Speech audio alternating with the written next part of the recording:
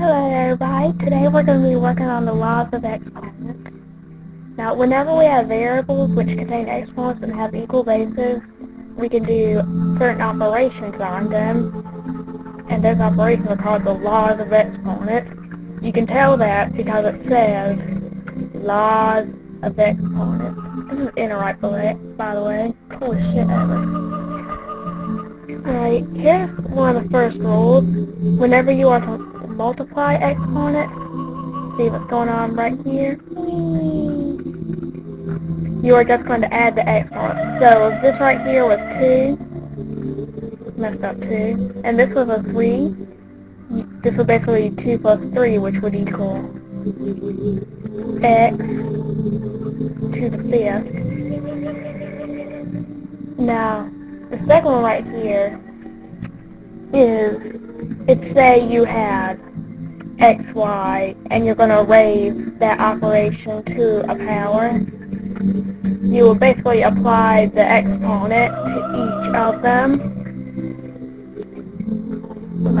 Like so. If you, gotta understand this mathematically. It's not gonna work just to know what's happening and accepting it. I'm sorry, we're just not quite there anymore. Alright, so let's think about this way.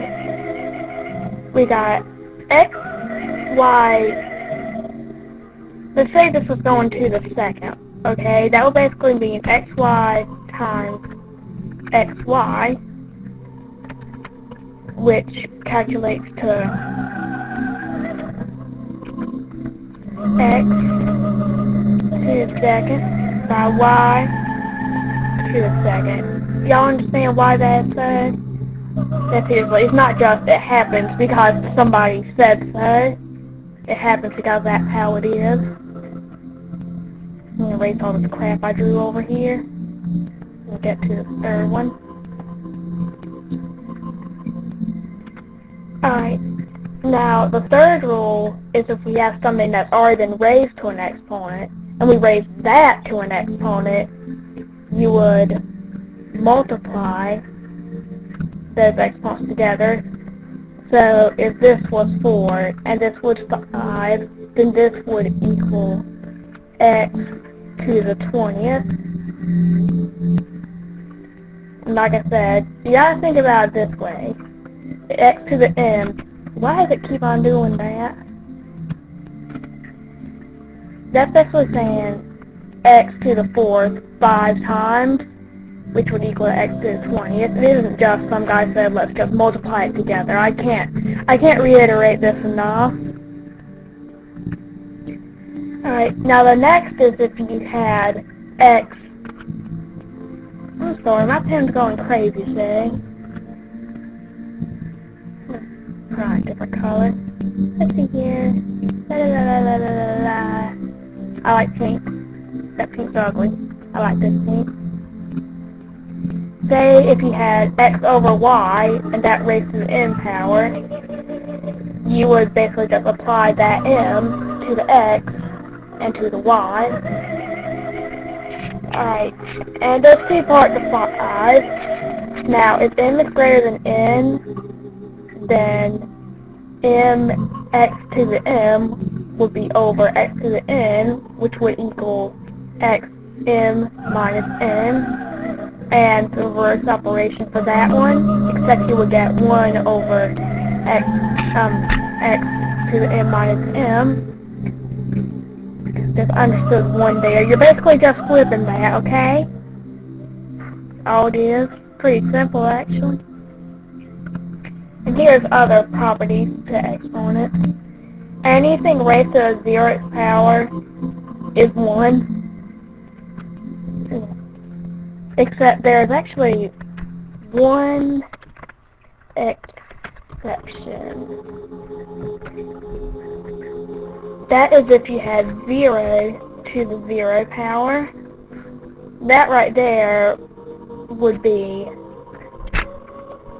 let me think, I'm trying to think of how my teacher put it to me.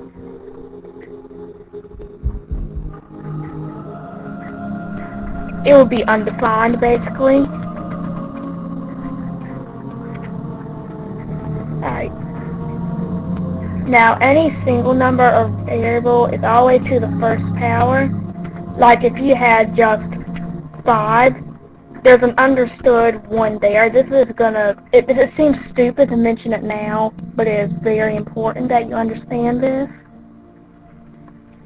And the reason that is is because, let's say we had 5 to the 6. That will be 5 times 5 times 5 times 5 times, press the button, times 5 times 5 times 5. That's 6 5. Now over here, we have 5 to the first, and that's just plain old 5. It's 5 one time. You see that? Alright, we're almost done here. I know this is tedious. Now here's some basic examples. Alright, everybody. Don't freak out. What's 2 plus 3? 5, lovely. I'm glad most of us listened in our kindergarten class. Alright.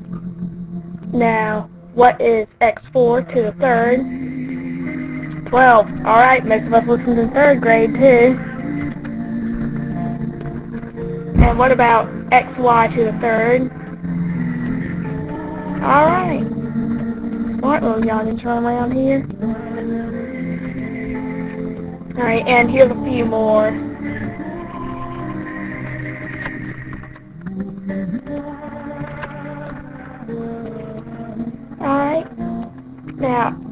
We worked on this one. Actually, no, this was the fifth example that I was trying to say. I know what it is, okay? This, when you have a division problem,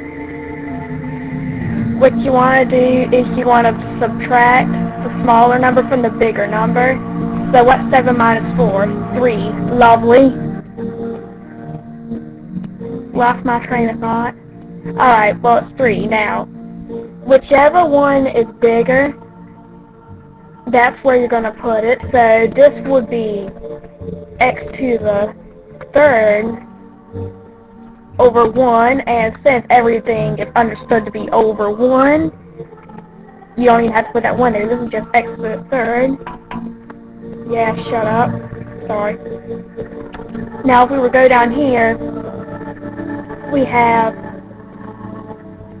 x to the fifth over x to the seventh. Same thing. We're not doing 5 minus 7. We're actually doing 7 minus 5. Only except since this is going on the bottom, there isn't just nothing on top. That wouldn't make sense at all. There's a 1 there.